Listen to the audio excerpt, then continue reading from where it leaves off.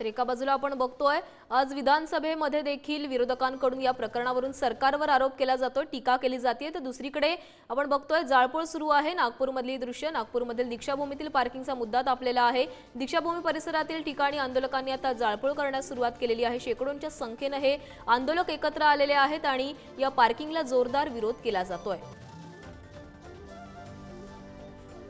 दीक्षाभूमीतील पार्किंगचा मुद्दा तापलेला आहे आणि या दीक्षाभूमी परिसरामध्ये पार्किंग होऊच नये अशी भूमिका या आंदोलकांनी घेतलेली आहे.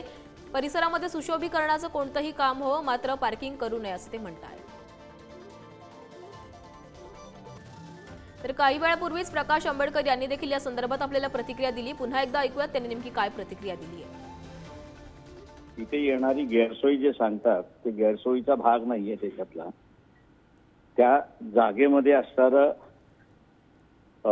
लोकांच्या भावना ज्या आहेत त्याच्याशी खेळण्याचा भाग हा झालेला आहे.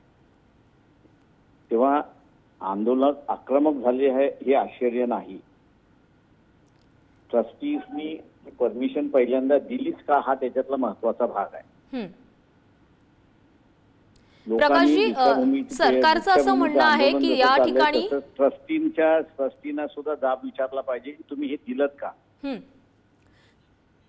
पार्किंगची जागा दिली का का तिथे असणारं ओपन तिथे असणार लोकांनी सांगितलं का पार्किंग पाहिजे आणि आमची गैरसोय होते म्हणून. तर नाही. सहा डिसेंब लोक तिथे असणार दीक्षा ज्या दिवशी दीक्षा घेतली दसरा असतो विजयादशमी असते त्या दिवशी लोक येतात आणि जातात. त्यांनी कधीच कंप्लेंट केलेली नाही की आमची असणाऱ्या गैरसोयी होती आणि आम्हाला पार्किंग पाहिजे म्हणून. त्याच्यामुळे असणारं हे पार्किंगचं नुसतं असणारं तिथे दिखावा आहे आम्ही असणारा म्हणतोय पण लोकांच्या भावनेशी खेळण्याचा भाग आहे. तेव्हा जनता ही उद्याच्या असणाऱ्या ट्रस्टींना सुद्धा सवाल विचारेल हा हे तिथे गैर आहेत आता. तर आपण ऐकलं प्रकाश आंबेडकरांनी काय प्रतिक्रिया दिलेली आहे? लोकांनी कधीच म्हटलं नव्हतं की आमची गैरसोय होते. मग लोकांनी जर म्हटलं नव्हतं तर हा पार्किंगचा मुद्दा आणलाच कशाला आणि पार्किंग उभारण्याचं ठरवलंच का असं सवाल त्यांनी केलेला आहे. या संदर्भात बोलण्यासाठी आपल्यासोबत ठाकरेंच्या शिवसेनेच्या स- सुषमा अंधारेजी जोडल्या गेलेल्या आहेत. सुषमाजी दीक्षाभूमीमधली दृश्य आपल्यासमोर येत आहेत आंबेडकर अनुयायी हे आक्रमक झालेले आहे. तुम्ही सरकारकडे या संदर्भात काय मागणी कराल? आता जी परिस्थिती नागपूरमध्ये उद्भवलेली आहे ती अत्यंत सहज स्वाभाविक परिस्थिती आहे. नागपूरची दीक्षाभूमी ही एक ऐतिहासिक धरोहर आहे. ती फक्त महाराष्ट्र राज्यासाठी नाही ती फक्त या भारत देशासाठी नाही. जगभरातले बाबासाहेबांवर आणि बुद्धिझमवर प्रेम करणारे फॉलो करणाऱ्या त्या प्रत्येक फॉलोअरसाठी अत्यंत संवेदनशील ठिकाण आहे. त्यामुळे त्या ठिकाणी काहीही उद्योग करताना एकदा दोनदा नाही लाख वेळा विचार करायला हवा. सरकारने या सगळ्या गोष्टींची परवानगी दिलीच कशी काय बरं? बरं एक बीम दिसत नाहीये तिथे. हजार पाचशे बीम उभे केलेले आहेत. अंडरग्राऊंड पार्किंग म्हणता आणि जमिनीच्या वर बीम उभे केले ते कशासाठी कुणासाठी? तिथे तुम्ही कमर्शियल कॉम्प्लेक्सेस करायचे आहेत का? कमर्शियल जागेसाठी त्या जागेचा वापर होऊच कसा शकतो जिथे जगभरातून लाखो अनुयायी एकत्रित येतात? त्यामुळे या सगळ्या गोष्टींची तात्काळ सरकारने दखल घेतली पाहिजे आणि जे काही बांधकाम आहे ते थांबवलं गेलं पाहिजे. सुषमाजी ठाकरेंच्या शिवसेनेकडून तुम्ही काही भूमिका घेऊन हा प्रश्न सरकारसमोर मांडण्याचा प्रयत्न करणार आहात का? या प्रकरणात फक्त ठाकरेंची शिवसेनाच नाही तर सगळ्याच पक्षांनी भूमिका घेणं गरजेचं आहे. आम्ही तर भूमिका घेऊच घेऊ.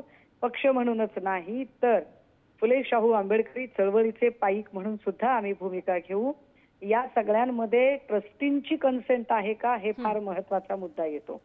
त्यामुळे ट्रस्टींच्या संबंधाने माझं अजून काही संवाद झालेला नाही. मी सायंकाळपर्यंत नागपूरमधली ती सगळी माहिती एकत्रित करते आणि ती माहिती घेतल्यानंतर पुढची पावलं काय ते उचलू कदाचित पुढच्या दोन दिवसात मी स्वतः नागपूरला जाईन. धन्यवाद सुषमाजी तुम्ही दिलेल्या सविस्तर प्रतिक्रियेसाठी. घ्यायला पाहिजे होत्या. त्यानंतर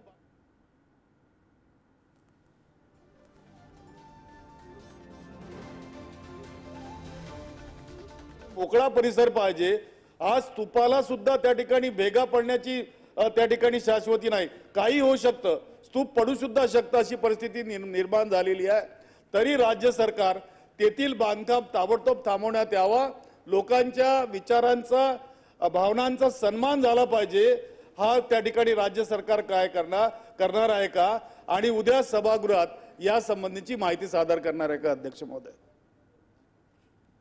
अध्यक्ष महोदय या संदर्भातली माहिती सभागृहामध्ये दिली जाईल आणि सन्माननीय सदस्य नितीन राऊत साहेबांनी जो मुद्दा मांडला याची माहिती देखील घेतली जाईल.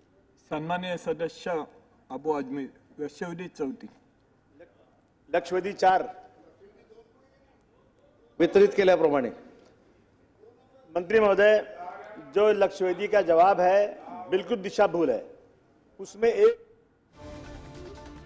तर आपण बघितलं नितीन राऊत यांनी विधानभवनामध्ये विधानसभेमध्ये हा मुद्दा मांडलेला आहे. हे ता हे कामकाज तात्काळ थांबवावं अशी मागणी त्यांनी केलेली आहे. काही वेळापूर्वीच त्यांनी पुढारी न्यूजला देखील प्रतिक्रिया दिलेली होती. आपण त्वरित हा मुद्दा लोक विधानसभेमध्ये मांडणार आहोत असं त्यांनी म्हटलेलं होतं आणि त्यानंतर लगेचच त्यांनी हा प्रस्ताव मांडलेला आहे आणि हे बांधकाम तात्काळ थांबवण्याची मागणी त्यांनी सरकारकडे केलेली आहे आणि त्यावर उदय सामंत यांनी देखील सांगितलेलं आहे की आपण यावर विचार करू चर्चा करू आणि योग्य ते उत्तर देऊ असं देखील त्यांच्याकडनं प्रतिक्रिया समोर आली आहे.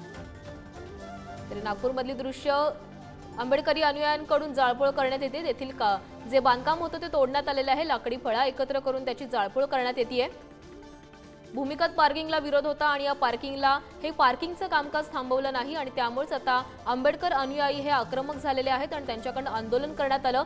शेकडोंच्या संख्येने हे अनुयायी आहेत ते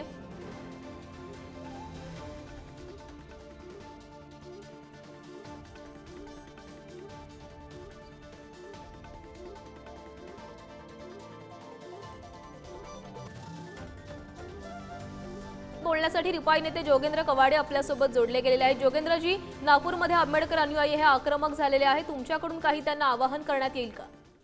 नाही कसं आहे ते महाराष्ट्र शासनाने जे निधी दिला त्यामधून दीक्षाभूमीचं सौंदर्यीकरण